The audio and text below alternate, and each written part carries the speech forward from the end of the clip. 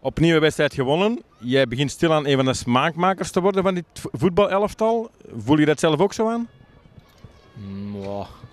We doen het met z'n uh, met z'n allen, dus uh, er zal, nooit, er zal wel één, twee jongens altijd bovenuit uh, steken. Maar voetbal doe je met z'n allen. Dus ik doe alleen mijn best en de rest zien we wel. Je bent er nu twee, drie weken.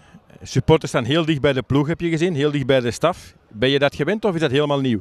Dat is helemaal nieuw voor mij. Echt chapeau voor deze mensen. Het is uh, 28 graden. Ik zei het ook, uh, die kon aan een terrasje gaan zitten. Maar ja, die zijn hier ons steun. Dat is gewoon heel mooi van hun.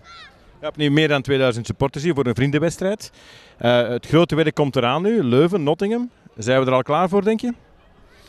Oh, ik denk dat je niet tegen Leuven en Nottingham klaar moet zijn. Ik denk dat je 3 of 4 augustus tegen Aalst en de komende wedstrijden de, komende wedstrijd in de competitie klaar moet zijn. Dat dat belangrijk is. De focus ligt niet bij Leuven of bij Nottingham. De focus ligt in de competitie bij ons. De trainer Richard zei net, de eerste helft, de eerste 75 minuten speelt waarschijnlijk het type elftal toestel aan. Jij bent daar een vertrouwde basisplaats aan het uh, afwerken, denk ik dan. Voel je dat zelf ook zo aan? Je bent de nummer 1, nummer 10, een echte nummer 10?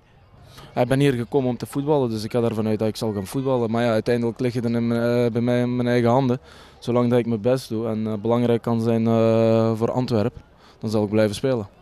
Je bent nu heel rustig, maar ik denk dat je wel plezier beleeft eigenlijk op het veld, als we dat zo zien.